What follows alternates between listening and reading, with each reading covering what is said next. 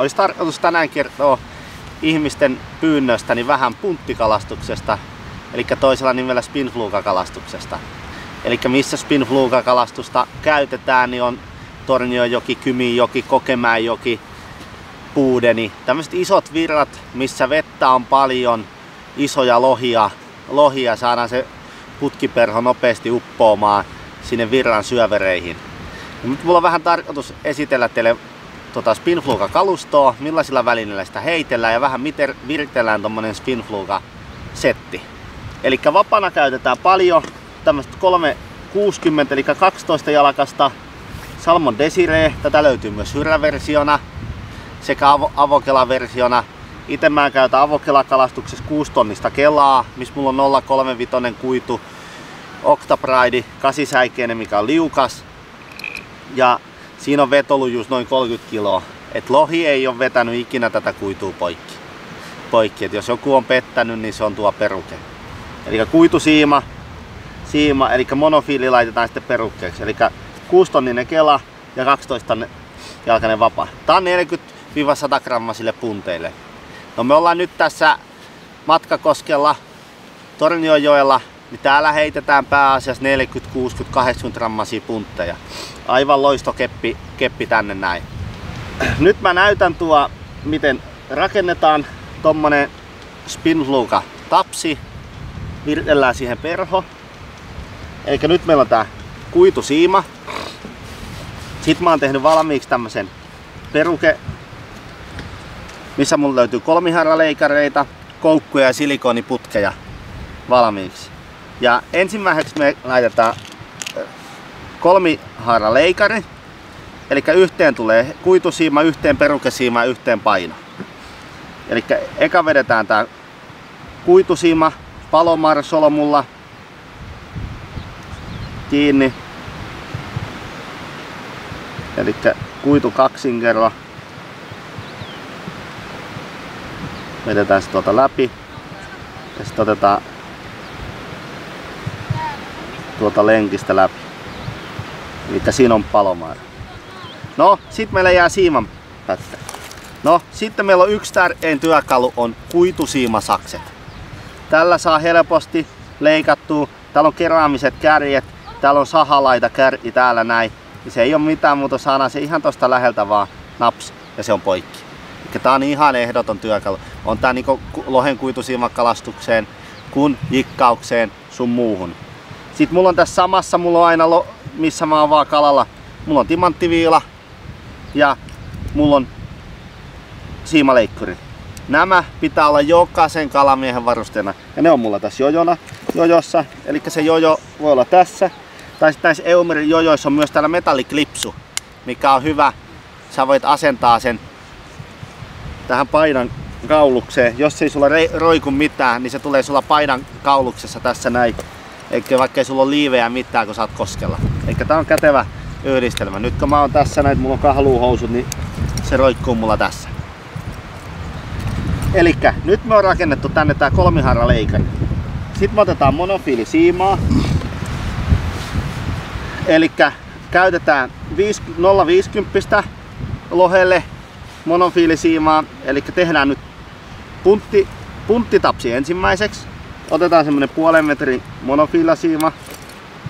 Laitetaan. Sidotaan tämä tänne alas. Eli se tulee tää kolmihaaraleikari alapuolelle tulee tää punt, eli normi viehesolmu. Kierretään viisi kertaa. Vedetään lenkistä ja täältä läpi. Ja kiristy.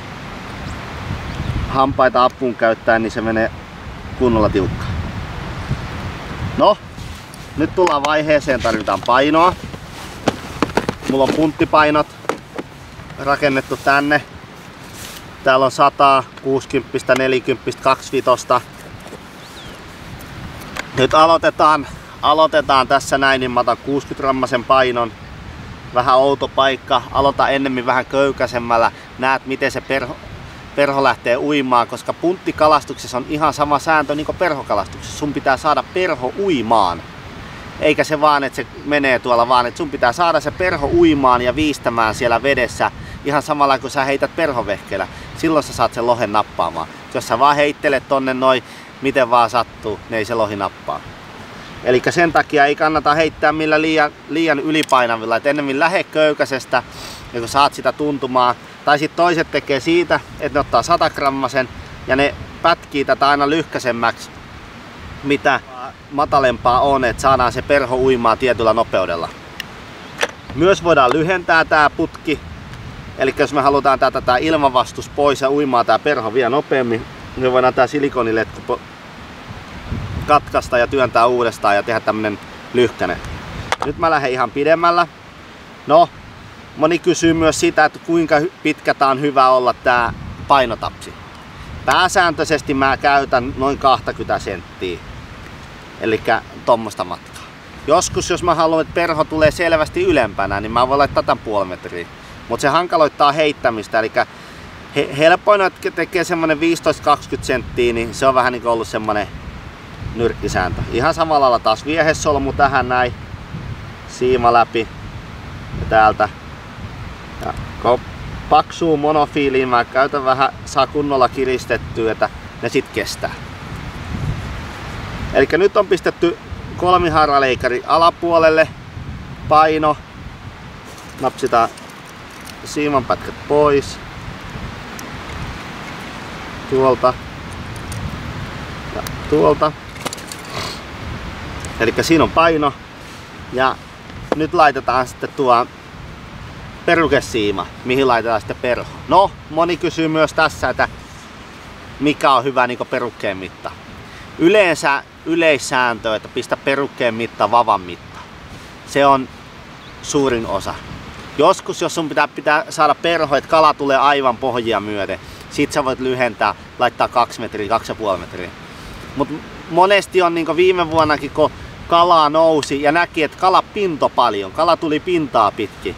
Silloin mä löin yli pitkää peruketta, jopa neljä puoli metriä. Se on todella vaikea heittää, mutta silloin, silloin kun sä haluat ja laitat leijuttavan perhon, että se perho tulee paljon pinnemmassa, niin kala noppaa paljon paremmin.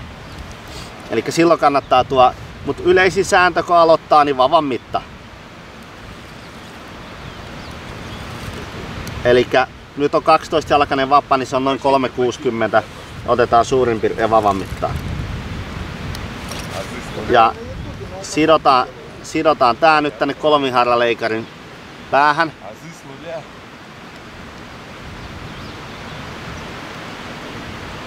Taas viehesolmu tänne ja kiristetään. Eli siinä on kolmihaaraleikari nyt. Paino, kuitu toppaa siihen ja monofili jatkuu tästä. Eikä nyt me on viritetty kolmihaaraleikari. No sit me mennään perukkeen päähän. Päähän me tarvitaan perho sinne. Käytetään kahta erityyppistä perhoa. On puktailiputkea ja kettusiipistä putkea. Ja milloin mä käytän enemmän puktailiputkea, niin mä käytän silloin, kun mä haluan nostetta siihen perhoon, perhoon niin mä käytän puktailiputkea. Ja mä voisin ensimmäiseksi näyttää, miten me viritellään puktailiputki.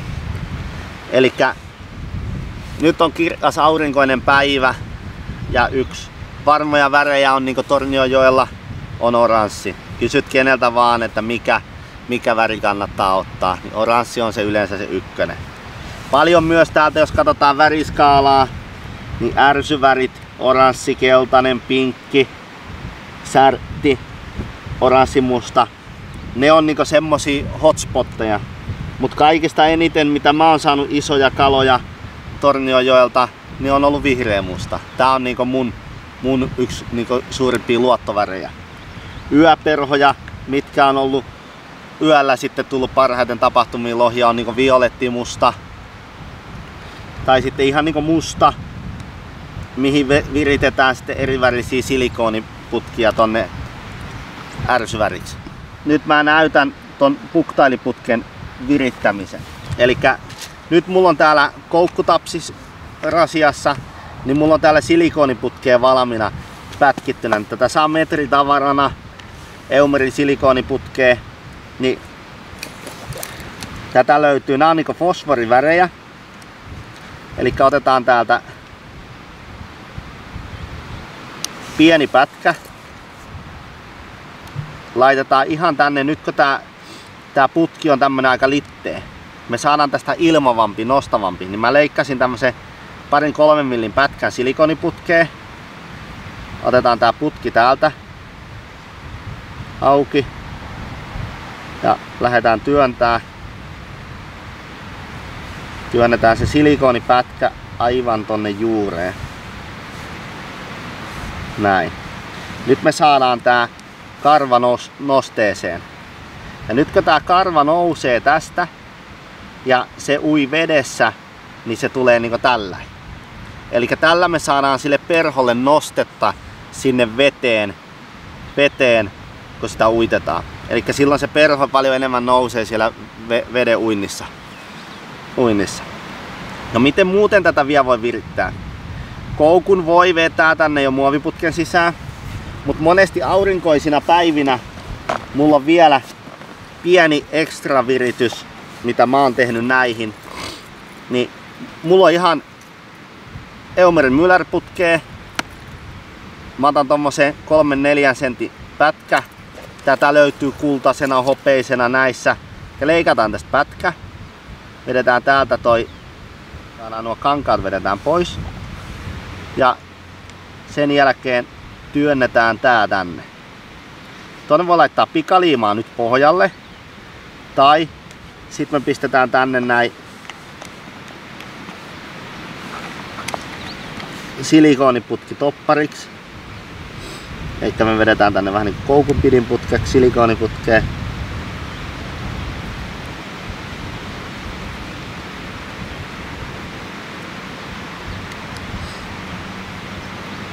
pyöritetään. Eli silikoniputki on aina vähän pienempää. Sitä on 2 ja 3 milli reijällä, että se menee tonne päälle. Ja nyt me tää sukka kiristetään tohon noin. Sitten leikataan tosta silikoniputkesta vielä enemmistö pois. Noin. Nyt meillä on yksi Torniojoen ottivärejä kultaoranssiputki. Eli tämä on paljon kun lohi nousee pinnassa ja halutaan sille perholle nostetta, niin semmonen perho, perho mitä kannattaa käyttää. käyttää. No nyt kun tää on viritetty, meillä on tää perukesiiman pää täällä. Työnnetään siima läpi. Noin. Tuolta. Ja käytetään yksi haara koukkuu. Ja nyt on varsinkin Torniojoelle on tullut, että ei saa käyttää kuin yksi haara koukkuu. Ja muutenkin suositellaan punttikalastuksessa, että käytä yksi haarasta. Nämä on vahvoja yksi haara koukkuja. Nämä on periaatteessa alkuperin tehty karpi ongintaa. Tää on vahva lankane, karppi on iso kala, mutta tää kestää myös ison, ison lohen suussa. Niin tällä myös vältetään sitä, että ei tule niitä vahinkokylkikaloja, kaloja, kun käytetään yksi koukkua. Eli yksi koukku vedetään tohon noin. Taas samalla lailla viehesolmu kierretään viisi kertaa läpi siiman, siima tuolta läpi, tuolta ja kiristys noin. Otetaan siimanpätkä poikki. Noin. Ja nyt meillä on viritetty. Myös tästä mä katon niin perhosta ylöspäin. Eli mistä täällä on niin tää vahvempi siipi, laitetaan, tää koukku toimii niin kölinä, kölinä, että se perho ui sitten suorassa, suorassa, niin katsotaan se liike. Eli siinä on nyt viritetty lohiputki. Ja tässä on nyt just semmonen, eli me haluamme nostetta aurinkoinen päivä, mä haluan, että kala hakee pinnasta, pinnasta niin laitettiin tämmönen puktailiputki. Sitten meillä on vielä tossa niinku toista versio, on kettusiipistä putkia. Täällä on samalla lailla yksi suosituimpia värejä on kelta, oranssi, oranssi, pinkit, ärsyvärit, mutta ihan samalla lailla niinku mustaruskeet, violettimustat ja nämä näin. No milloin käytetään enemmän tämmöistä kettusiipistä? Tässä ei ole niin paljon nostetta kuin puktailis siivessä. Eli mä haluan, että se perho tulee niin enemmän syvällä, syvällä että se kala ei ole niin pintahakunen, niin mä käytän niinku ket, näitä.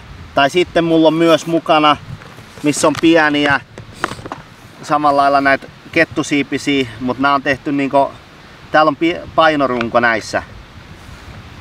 Eli jos mä haluan niinku kovassa kuohussa heittää, niin mulla on täällä pieni Teaprop tupe. Tässä on normi, tai sitten jos on ihan niinku mikroa, niin sitten täällä on vielä mikroputkeen tehtyjä.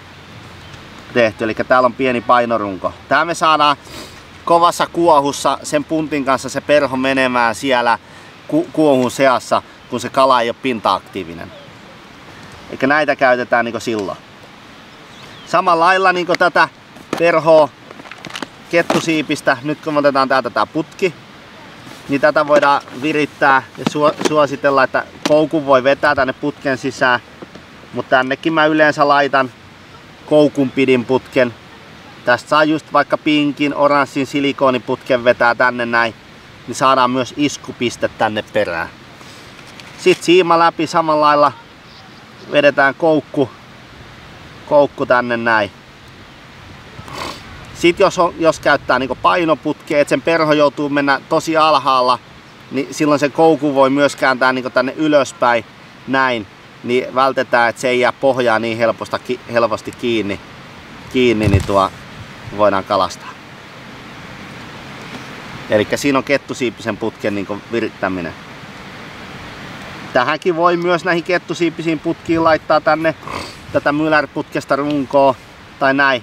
Mutta enemmän mä oon tässä puktailiputkessa, koska tää, tässä tää siipi on niinku tämmönen hatarampi, niin se loistaa paljon paremmin tässä tää runko täältä läpi.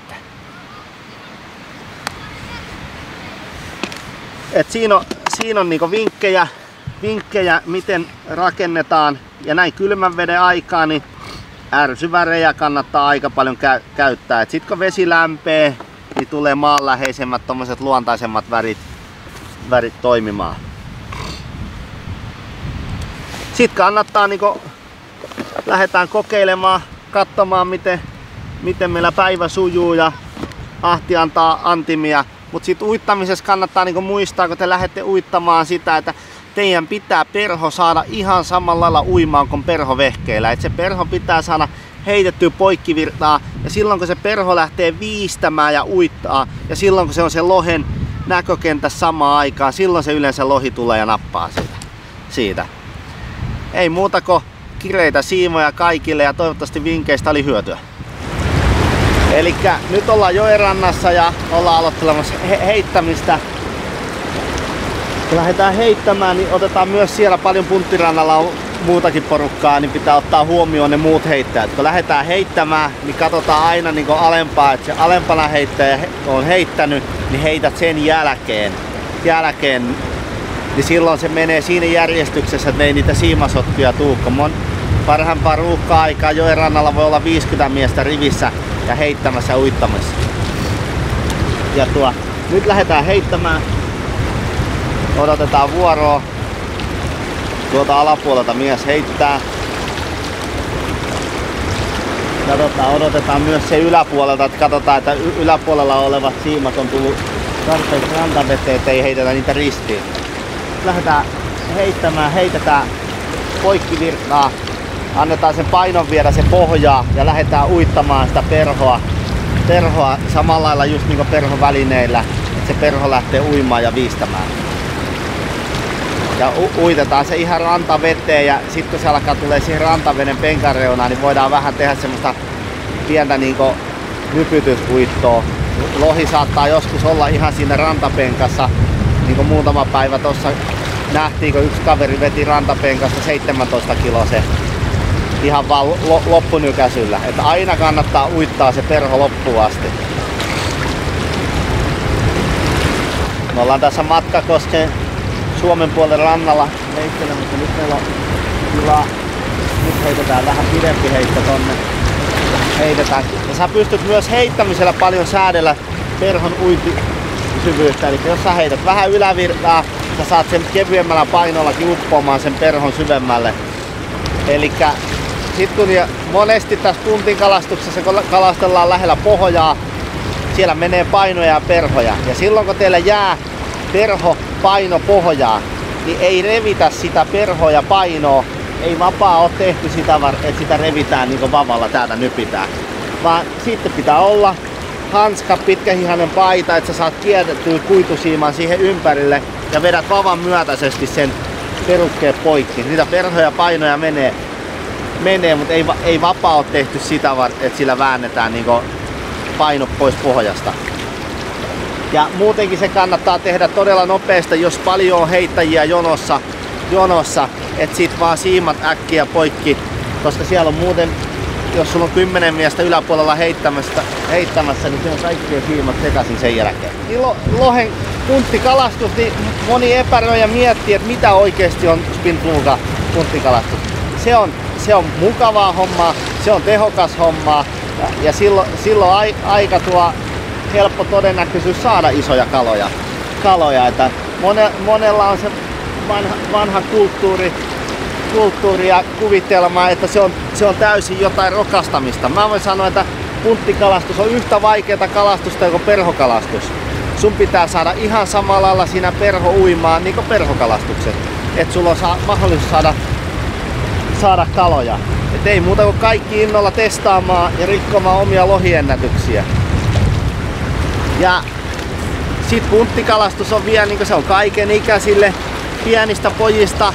Monet, monet on aloittanut lohenkalastuksen punttikalastuksella ja vanhemmalla iällä siirtynyt perhokalastukseen. Et ihan nuorimmasta pojista asti on mahkut saada isoja kaloja tehokkaasti. No niin.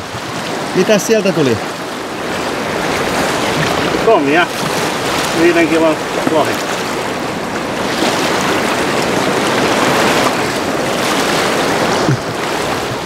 Miltä se tuntuu?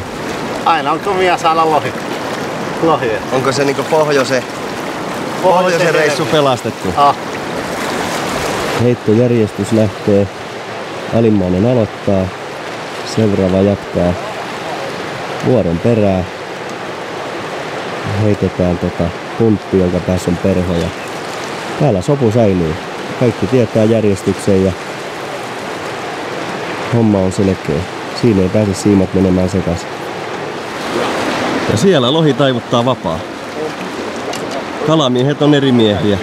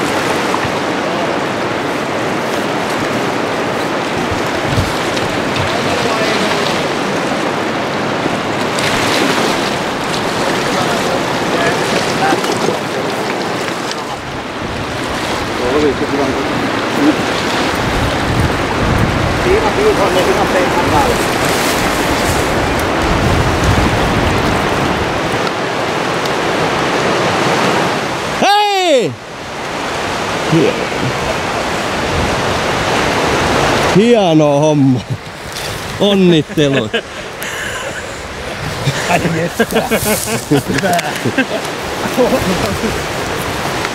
Yes. Hyvä.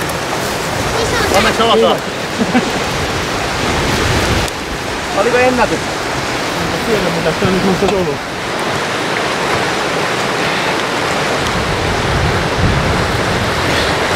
Torniojoen parhautta. Kovaa työpalakitti.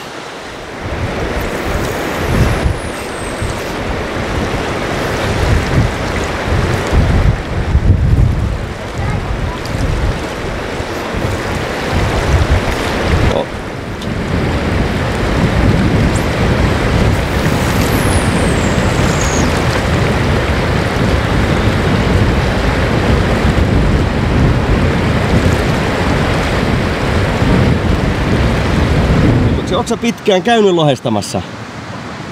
Öö, no kolmena vuonna, mutta niin toissa vuonna vissiin niin ihan itse kalasti. Se on mahtava, nimittäin tämä meidän kalastusala huutaa lisää tota naispuolisia, naispuolisia harrastajia. Sä oot niin oiva esimerkki.